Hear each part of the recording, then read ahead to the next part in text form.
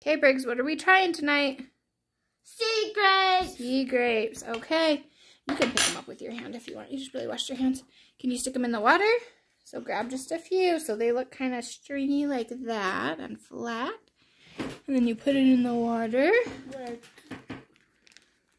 let's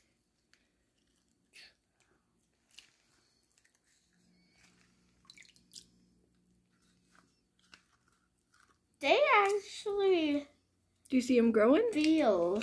Bob, can you help me? Yeah, I will. Do you want to watch those ones? Well, these ones. Ooh, do you see them? Where? They're growing. Where? You'll see. So the water will rush to the inside of them. Do you see those ones moving? No. You don't see those moving?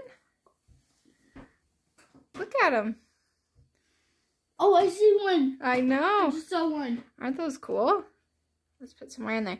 So they start out all stringy like this. Let's Like the saltwater brine. You want to do it? Uh-huh. And they fill with water. Water. Look, do you see how different these ones look than these ones? Ooh. Aren't those cool? Yeah. And then let's do some more. Yeah.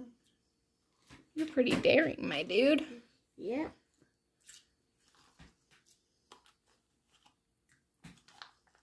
You can get the last one with a fork if you want, so you don't get. There is the force. Oh, there you go. Good Is job. this all of them? Uh, looks like it. Feel it. If there. If Yep. Looks good. If there's any, it's just like one or two. Okay, now we'll keep it in there for a little bit and see what happens. So they were all stringy when they first went in there. Do you see how the bottom ones already look different than these ones? Yes. They look like they're done These already. ones These are already ones are- getting more floofed up than these guys. huh? Wait. Look Is at this them. one done?